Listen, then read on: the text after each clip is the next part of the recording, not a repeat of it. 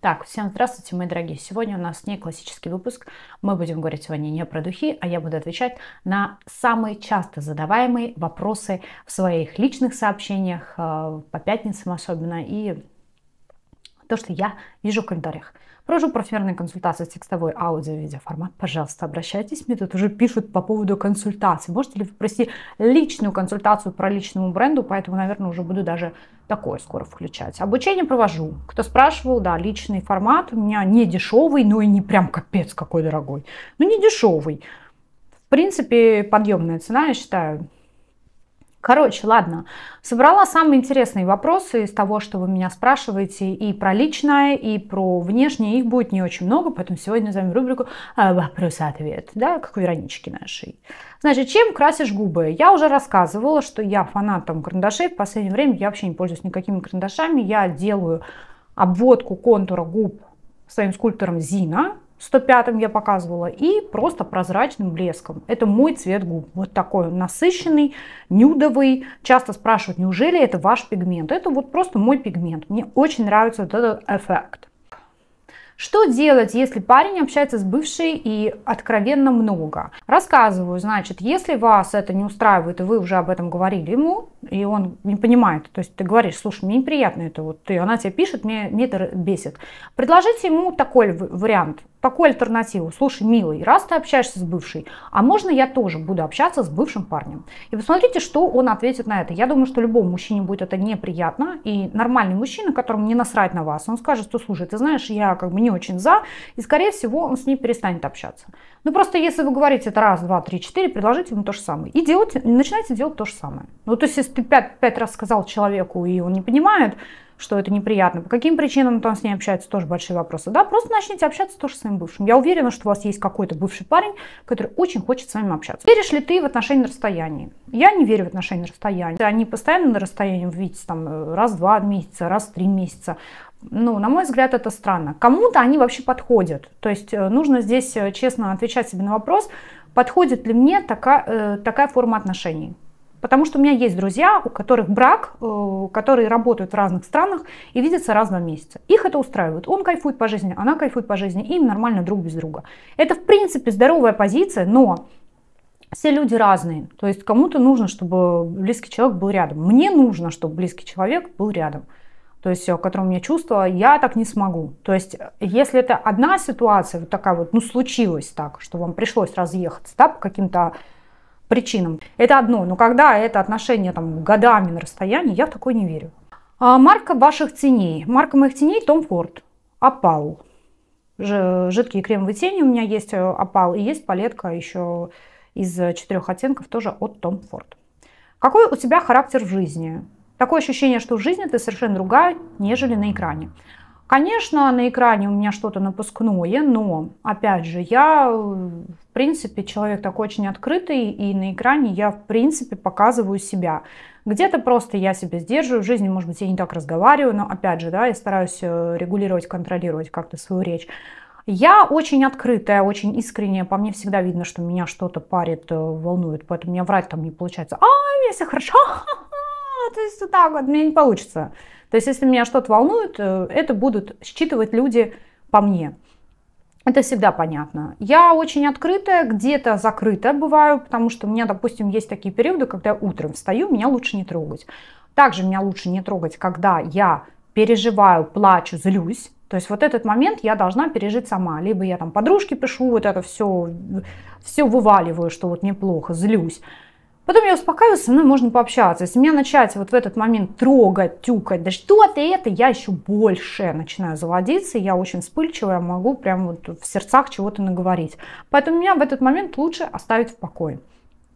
Я стараюсь всегда быть очень искренней и открытой. Я очень благодарный человек, я считаю, потому что я всегда готова помочь вообще безвозмездно. Мне это доставляет, в принципе, удовольствие. Но я не...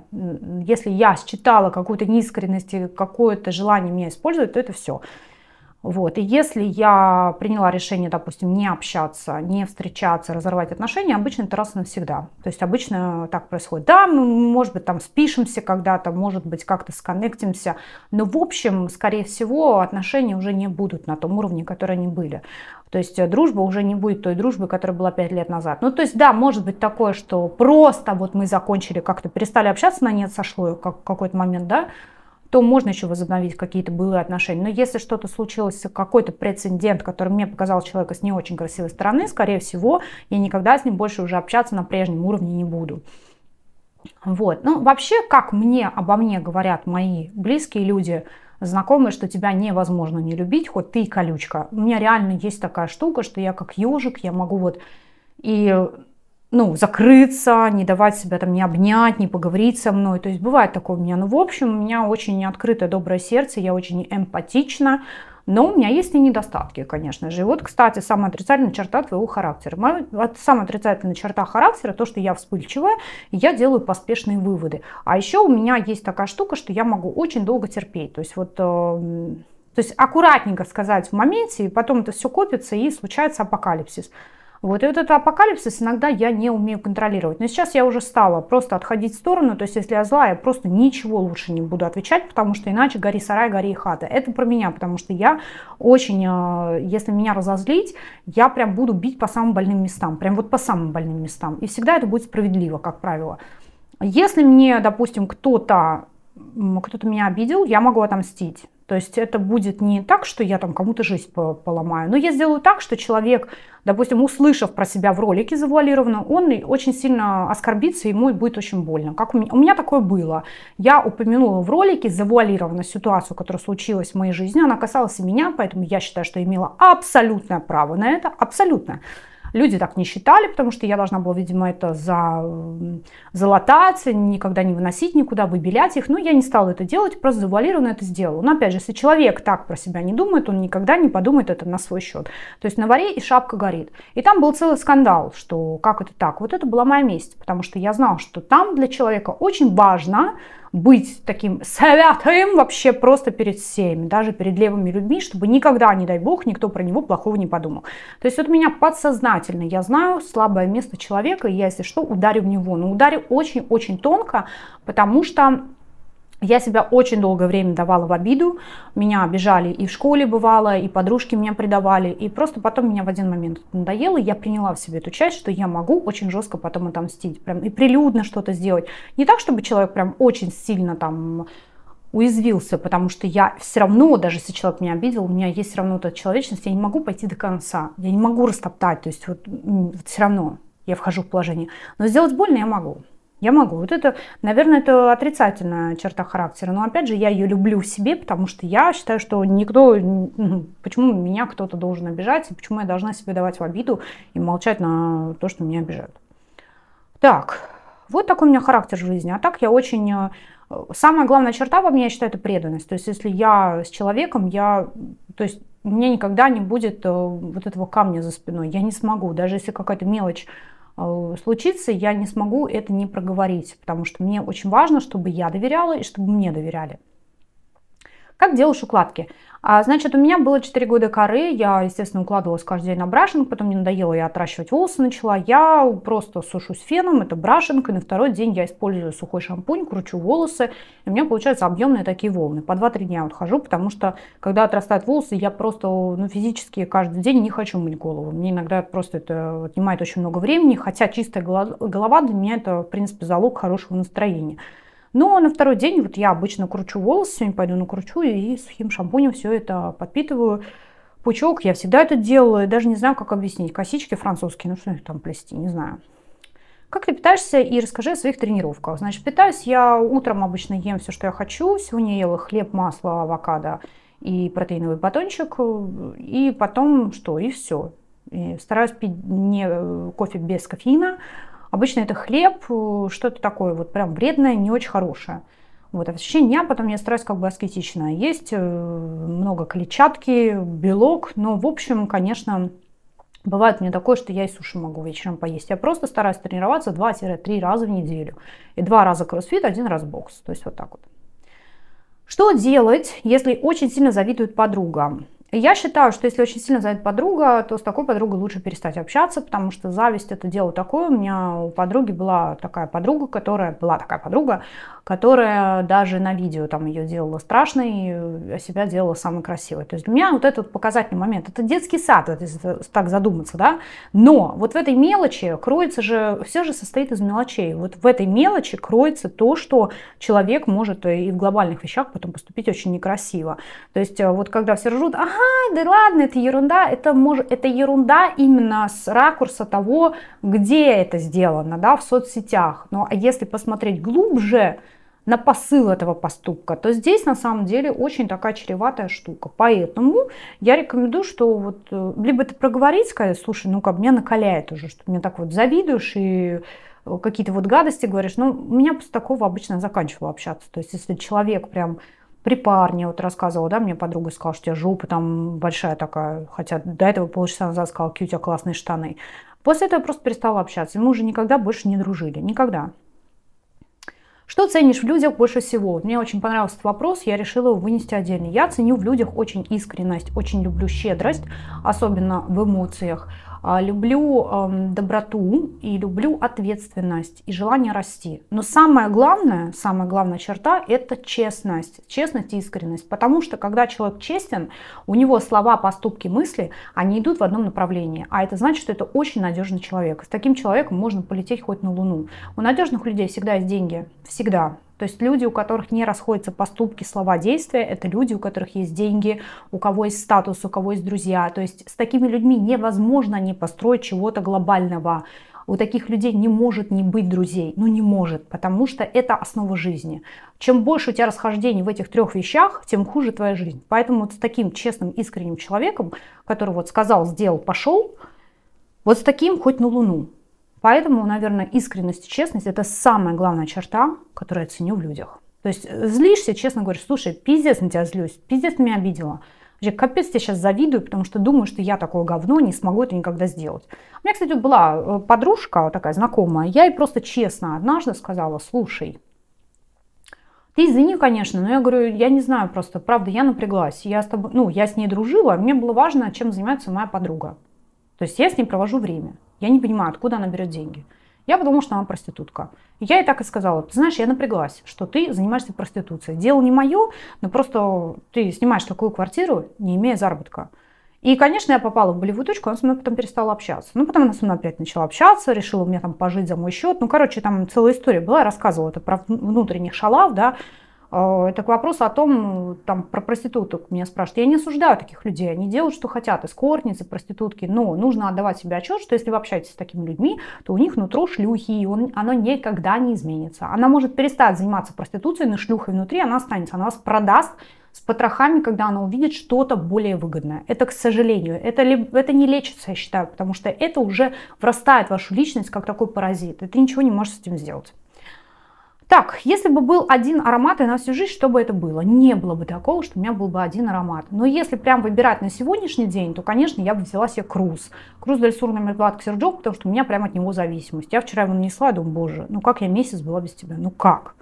Как? Ну, такого нет, потому что, я говорю, каждый день все меняется, настроение меняется, поэтому очень сложно.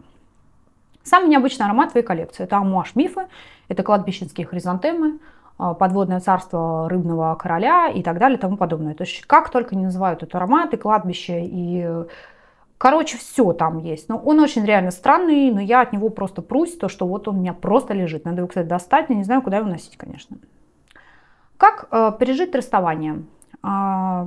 Э, очень просто, на самом деле. Очень сложно и просто одновременно, потому что когда ты с кем-то расстаешься, особенно если это длительные отношения, то, конечно, ты начинаешь вспоминать самое хорошее, ты надеешься, что все это вернется. Во-первых, не нужно себя отнимать эту надежду, что когда-то вы встретитесь, сойдетесь, пожалуйста. Но для начала там нужно удалить все фотографии, все переписки, как бы это сложно ни было. Это самое сложное. Вы просто удаляете это под ноль, и уже будет легче. Заняться собой, фитнес, спорт, любой, э, новые увлечения, новые друзья, ходить на свидания, как-то себя заставлять, просто знакомиться с людьми, чтобы у вас расширялся кругозор на других людей, чтобы вы понимали, что есть другие люди, помимо вашего бывшего, вашей бывшей, что есть не только такие прекрасные принцы, как он и она. Потому что вначале, конечно, кажется, что все уроды, все убогие, потом думаешь, боже, да что я с этим дебилом делала? Ну, вот обычно так происходит, потому что время проходит, ты видишь людей лучше, чем он, и думаешь, ну да, был классный, но сейчас еще лучше. Вот, Но в первую очередь это нужно удалить все вообще под ноль, что напоминает, и начать заниматься своей жизнью. Вспомнить, что вы хотели, конечно, идти в зал, ну и погоревать. Да, все время, там два дня, все лежу как говно, плачу, жру конфеты и все, потом беру за себя. Вот. Кого из блогеров смотришь? Да, честно говоря, никого. Марка Бартона смотрела иногда, то отписалась от него. Квасина, ну, Квасиху я не смотрю, я просто подписана на него телегу. А если вы про парфюмерных блогеров часто спрашиваете, мне никто особо не нравится. Ну, Талиса я уже говорила, да, про нее, потому что мне нравится ее посыл, мне нравится ее фамилия. Но, опять же, ни один обзор я полноценно не смотрела. Все остальное я смотреть просто не могу. Как назовешь детей? Мне очень нравится, кстати, имя. Я тут записала себе, что я, может быть, скорее всего, мальчика назвала бы Демьяном, а дочку назвала бы Беатрис. Мне очень нравится это имя. Так, и как я училась в школе и вообще как были мои дела? Да, это последний вопрос, который я так вот вынесла. Значит, я училась в двух школах. Первая школа у меня была в Королеве гимназия. Там были сложные дела у меня, потому что у нас был очень маленький класс, 18 человек, все были типа обеспеченные. А мы, там вот 5 человек были такие, ну, среднячковая зарплата у родителей, мы там были, можно сказать, изгоями. Такая вот у нас такой класс был. То есть мало денег, тебе классуха просто за это, ну, всем видом показывал, что ты говно, короче. Ну, говно и, тупу, и тупая, и такое предвзятое, короче, отношение было. Вот. А потом э, я перешла в другую школу уже в Москве, и, соответственно, тут дела уже пошли лучше по учебе, потому что класс был большой, 31 человек, 29-30, что-то типа того. Но меня не любили за то, что я была выскочка. Я пришла из маленького класса, и у нас там вообще все с места отвечали. Конечно, мне там и бойкот устраивали. Ну, в общем, потом я что, стала старостой, или как он там называется, не староста, а ну, короче, кто журнал приносит, там главный, главный в классе, и много друзей у меня, и со всеми, в принципе, очень сдружилась, и поняла, что не такое уж я и говно. как бы очень даже все у меня здорово. Вот. А люди, на которых я там смотрела в своей гимназии, думаю, боже, она такая классная, сейчас непонятно где, кто Эма стал, кто еще где-то, не знаю, короче, пиздец полный. Вот. А вначале, конечно, я училась, думаю, бля, пиздец, просто все такие классные, я такое уебище, вообще просто денег нет у меня в семье, и учусь я плохо, и за границей не была нигде. Ну, а потом пришла в другую школу и поняла, что просто, ну, блюдский класс был, ну, просто такой немножко гнильцом пахло. Но были классные, классные дети, классные люди, но, в общем, это вот настроение, мне кажется, создавалось именно классной руководительницей, что если у тебя нет денег, то ты какой-то этот отброс общества. Вот. Меня она очень, конечно, не любила, я даже не знаю почему. Ну, наверное, она видела в мне потенциал. Только так могу объяснить. Обычно меня вот все, кто недолюбливал, видел во мне потенциал, вот как будто вот это вот говно меня пытались вот вытащить из этого, вот вытащить э, из какой-то вот лужи. Ну, я, кстати, вот в гимназии, когда училась, меня мама одевала в самый лучший ну, самая, я была самая красивая на этих праздниках, и все думали, ой, блядь, Вовк пришла в этом платье таком охуенном. И все вот прям я видела, как сам завидовали, они со мной даже не разговаривали, со мной даже классуха не разговаривала, она мне никогда не делала даже комплимент, что у меня красивое платье, хотя оно было объективно самое красивое. Мама выбирала там с большими цветами какие-то немецкие платья, она где-то их доставала, но чтобы я вот просто на этом празднике, чтобы все одурели. Там реально одуревали все, потому что, ну, ну, типа, Вовк, где Вовка, где мы, и такая охуенная Вовка пришла на праздник, охереть. Вообще там, да, вот это вот мне, кстати, очень нравилось, это чувство. Я так расстраивалась всегда, говорю, мама, ну почему вот так вот, да, почему вот мне никто не сделал комплимент, как-то никто со мной не общался. Я реально сидела там, ну, как-то все там по каким-то кучам своим, а я сидела на этих праздниках одна, потому что, ну, как это, но еще, знаете, за что меня не любили? То, что у меня были самые красивые платья на праздниках, а еще меня брали в главные роли в спектакле. Всегда. Потому что я умела петь, и я умела э, танцевать. И меня однажды, помню, когда меня утвердили на эту роль, подошла девочка одна и сказала, я с тобой не буду разговаривать, если ты не откажешься от этой роли. Вот так она мне сказала. Настя Конищева ее звали, да. Не буду с тобой общаться, если ты не откажешься от этой роли. Думаю, вот пизда какая вообще деловая. Кстати, интересно, смотрят они мои ролики? Ну, вот, да, видите, вот здесь я уже не побоялась сказать имя и фамилию. Ну, реально, представляете, вот приходит и говорит, слушай, мы с тобой не будем разговаривать, если ты не откажешься от этой роли. Алина Шкеда была такая мадам. Да, вот такие мне ультиматумы стали. Это помните, я вам рассказывала, что у меня парень там влюбился, наш первый в классе. И вот эти вот девочки тоже ко мне пошли. Мы с тобой общаться не будем, если ты не скажешь ему, что он тебе не нравится. А я не сказала. Думаю, да пошли вы все нахрен. Вот такой вопрос-ответ. Ставьте лайк, подписывайтесь на канал, ставьте колокольчик, чтобы не пропускать мои гениальные видео. Подписывайтесь в телеграм-канал. Я создала еще один аккаунт, где я занимаюсь продажей парфюмерии, потому что у меня многие не хотят покупать в интернет-магазинах, ну прям боятся и прям у них какая-то вот настороженность. Пожалуйста, пишите в личку, там есть э, чат отдельный повелительница ароматов, Там в комментариях вы пишете, что вам нужно, я пишу цену, если вам нужно оформить, там все написано по инструкции, что вам нужно. Я вам лично доставлю парфюм, который, ну, точно вас устроит. Просто я продажами уже давно не занималась, думаю, ну ладно, возобновлю, если люди доверяют. Я просто не хочу этим масштабно заниматься, потому что продажи это все-таки не блог. Но вот кто очень хочет, пожалуйста, welcome, подписывайтесь в соцсетях. Ну а так, всем пока.